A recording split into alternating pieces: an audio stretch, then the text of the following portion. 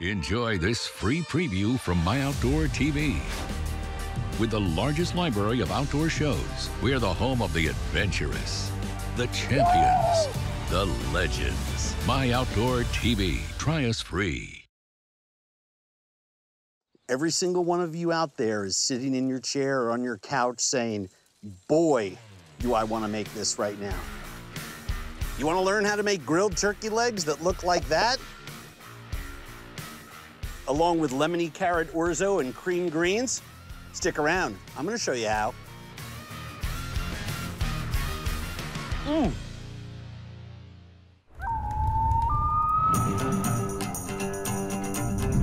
I'm Andrew Zimmern, avid outdoorsman and, yes, sometimes a chef. You know, wild foods, game, fish, meat, are our most precious renewable resources. For decades, Grandma used to throw the pheasant into the crock pot, put a couple of cans of condensed soup on it, and call it dinner. Well, guess what? The food world has evolved, and so should your cooking. Welcome to Andrew Zimmern's Wild Game Kitchen.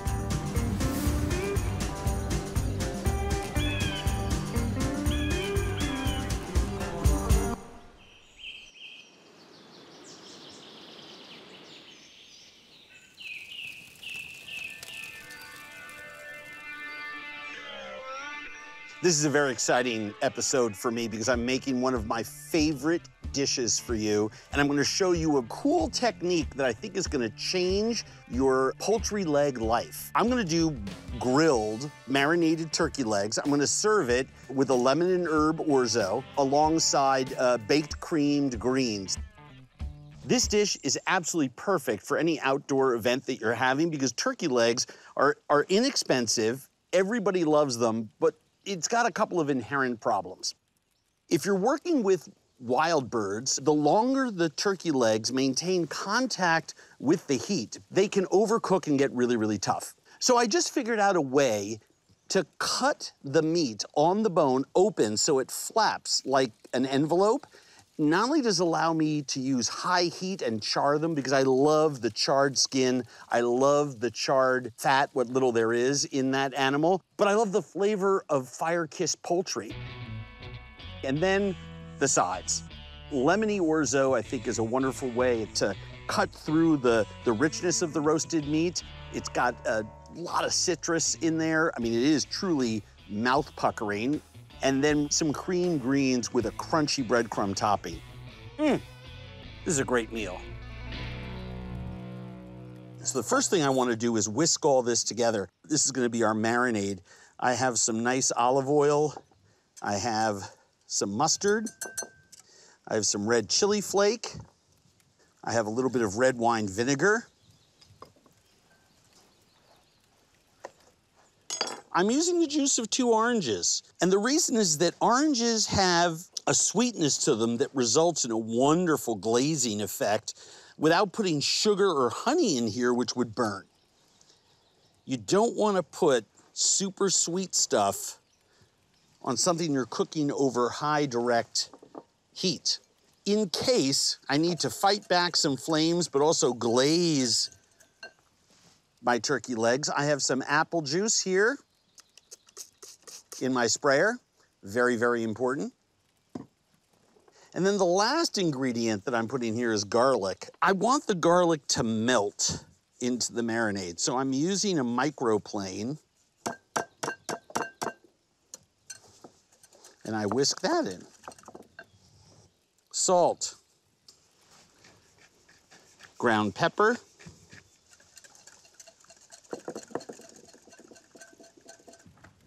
So our next move is I want to put the marinade into my bag so I can put the butchered turkey legs one by one in there. The next thing that we want to do is we want to butcher our turkey legs. So this is the inside of the leg, and this is the outside of the leg. Now I want to show you something. Look very closely. Do you see how underneath the skin, it's very smooth on that side? On the inside, you can see all those tendons. Do you see those little tendons? You can feel them That's the side that we're going to butcher. All we're gonna do is make an incision all the way around that leg. The next thing that we're gonna do is we're gonna take a knife and go across at the top. We're gonna come down through those tendons. We're not gonna go all the way to the other side. And then all I'm going to do is I'm gonna take this knife and I'm gonna follow the bone. And then you just scrape down the edges or cut them open, give them a little pounding with your hand, and we're basically gonna cook this turkey flat like this. This allows us to do two things. Number one, we can cook these skin side up, so you have fewer sooty flare-ups. The second thing is it allows us to cook in half the time because we've now cut them into an envelope.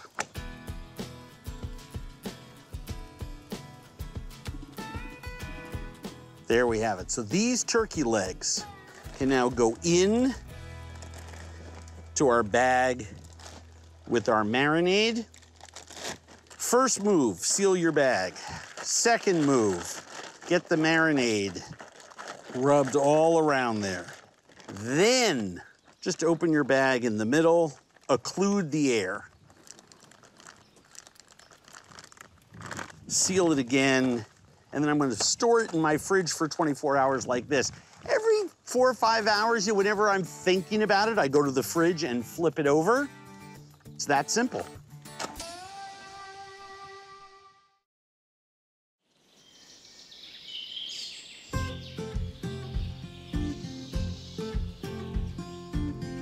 One of my favorite dishes as a side or even as a vegetarian entree are cream greens. And it really doesn't matter what greens you use. I have a combination here. I have two different types of kale. I have a beautiful chard. I have some stunning collards. You could use all of these. You could use more in combination. And I like to remove big objectionable uh, center stem. And then you can tear or chop the leafy greens.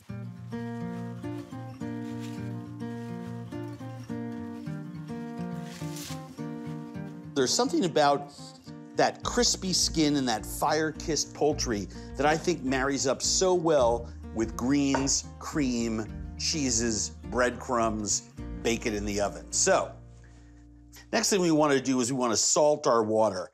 You want your water to taste like the ocean. That's how salty it should be. It should taste like seawater.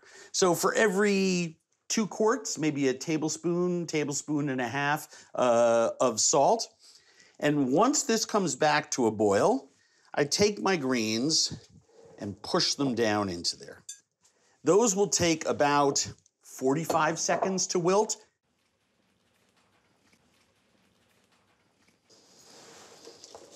Mm. Now, the greens, right, I slide into my colander, let them cool, and then put another batch of greens in. Our first batch of greens has cooled enough so that I can squeeze it. Look at all the water that comes out. And then when you fluff them out, you can see that we still have some volume in there. But that's why we start with so many greens.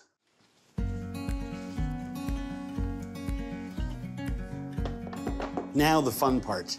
We're gonna combine all of our ingredients here. I've got some butter, some Parmesan cheese. I've got my cream, pepper. These greens are peppery and spicy in a sense, and so black pepper marries really well with them Of course, I want to season this well with salt, fresh nutmeg. With cream cheese and greens, there is no better combination. I guess I'm trying to put about, I don't know, quarter teaspoon in there. All right, so next thing, grate a lot of Gruyere cheese. Now, Gruyere is a lot nuttier and more flavorful than your average Swiss cheese. But if that's all you have access to, by all means use it. All right, we're gonna have to do a lot of mixing here. And the best tool in the kitchen for mixing are the two things at the end of your arms. And just circulate the cheese, open up those little bundles of cooked leaves. Then load this into your baking dish. So these are fresh breadcrumbs. And I'm going to add my Parmesan cheese, a little bit of seasoning, that's salt and pepper. And I'm gonna put a little bit more Gruyere in there so we have a cheesy, crunchy topping. If you're one of those people who objects to a cheesy, crunchy topping, I'm not really sure we can be friends. Because this is arguably what makes this dish. So this is ready. Now I place this into the center of an oven. I've already pre-positioned the rack there. I've preheated at 375, and I'm going to lower that to 350. Now, why do I do that? It's a really, really simple reason. When you open the oven, you lose 25 to 50 degrees. So I wanna make sure that this is cooking from the get-go. And this will be ready in about 35 to 45 minutes. Mm-mm-mm.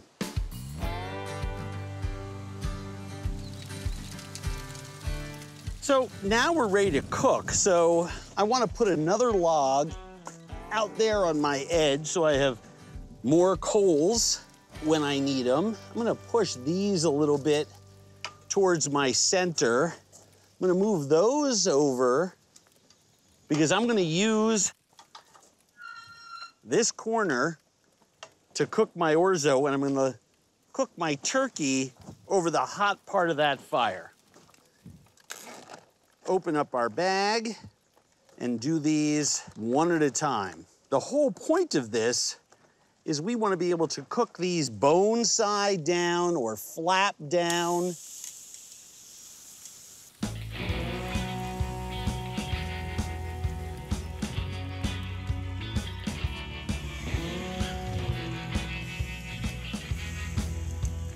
If the marinade goes up to over 160 degrees, you can use that marinade. So I'm saving that little quarter cup in there. When I flip them and the skin starts to caramelize, I'm gonna put a little bit more marinade on the meat side of those legs. And we're just gonna let those char for like 10, 15 minutes untouched until we flip them.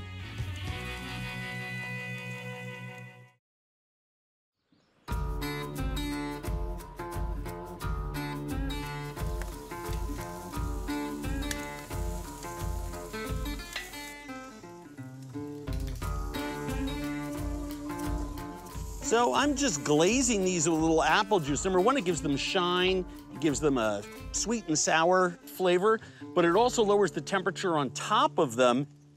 The next thing that we're gonna do, I'm gonna make our orzo. First thing that we wanna do, throw our butter into this four quart pot. I'm gonna smash three garlic cloves. Love the taste of garlic like this that's just been smashed and cooked in the broth.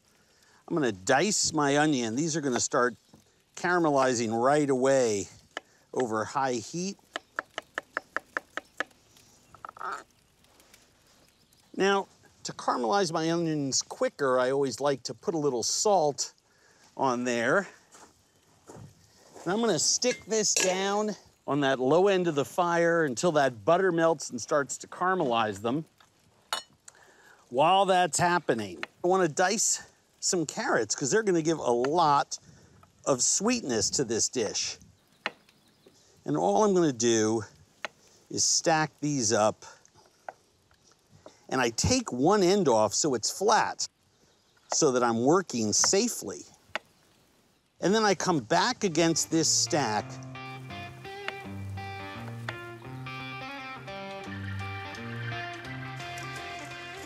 Mm-mm-mm. Aren't those fantastic? If you notice, I'm bracketing my coals with fresh logs so I can push them in and maintain the same heat. And you can see there my butter is sizzling. Now, I don't want to burn my onion or my garlic. So I'm gonna add my carrots,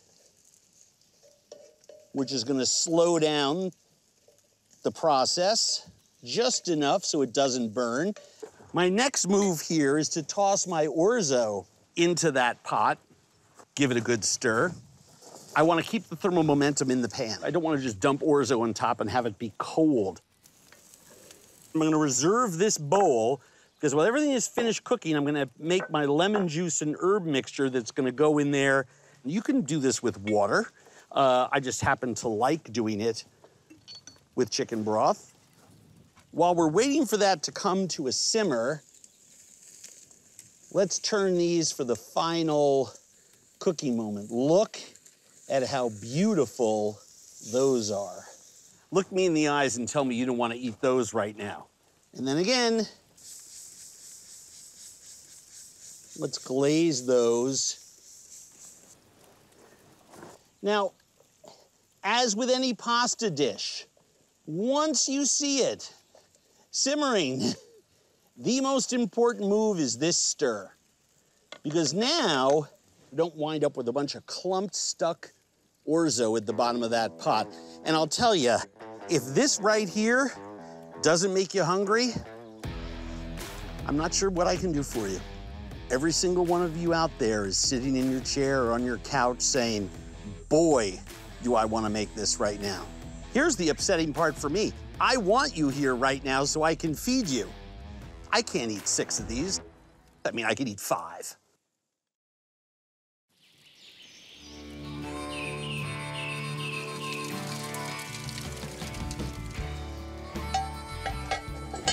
Because that lid accelerates the heat inside of that pot, I've moved it so it's directly over the lowest part of the coals. We'll cook that for 10, 15 minutes, add our herbs and lemon. At the same time, our turkey legs should be cooked through after about 15, 20 minutes of cooking. Then it's game time. All right, juice of a lemon, a little salt, black pepper, because we're just gonna add this all at the end. I'm just making a big handful of fresh herbs, tarragon and parsley, to throw into my orzo when I add my lemon juice, and then let it rest for another sort of 10 minutes while our turkey rests on a platter, and go get our greens so everything is here for us to plate up our lunch. I'm just gonna set these down and let those stay warm by the edge of the fire. You can see here the steam coming out of our casserole, which means we're probably just a little too hot.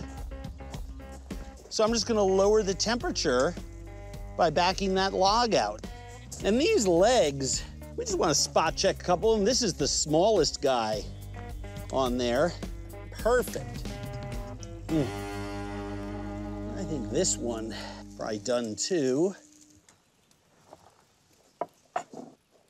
So I combine my lemon and herbs. I'm gonna lift off this lid, dump my lemon and herbs in, give that a nice stir. Oh, that smells so, so good. just let that rest for 10 minutes or so.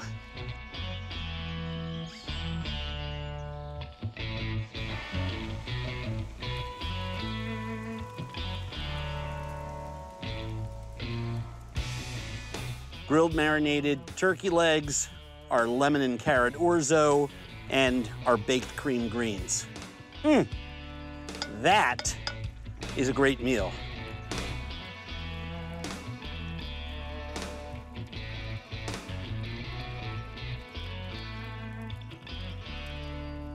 Let's see how the greens are. Mm. The greens are still chewy. They're not mush. They haven't lost their texture. It's why I prefer to do this than cream spinach any day of the week. And I'm a cream spinach nut. They've lost all their bitterness. They're still peppery and crunchy. meltingly tender, and the breadcrumbs are crispy. That cave aged Gruyere is the perfect complement to it. Mmm. Mmm.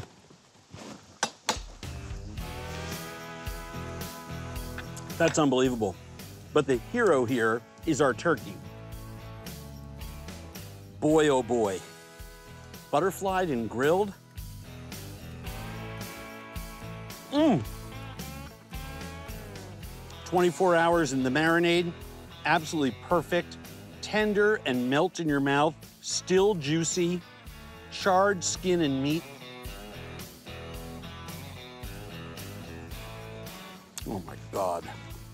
Look at that. Promise me you're gonna make this fantastic dish. Nothing could be easier. This right here is all about seasonal eating to me. If you'd like the recipes to make this incredible meal, all you have to do is go to OutdoorChannel.com. Enjoy. See you next time on Wild Game Kitchen.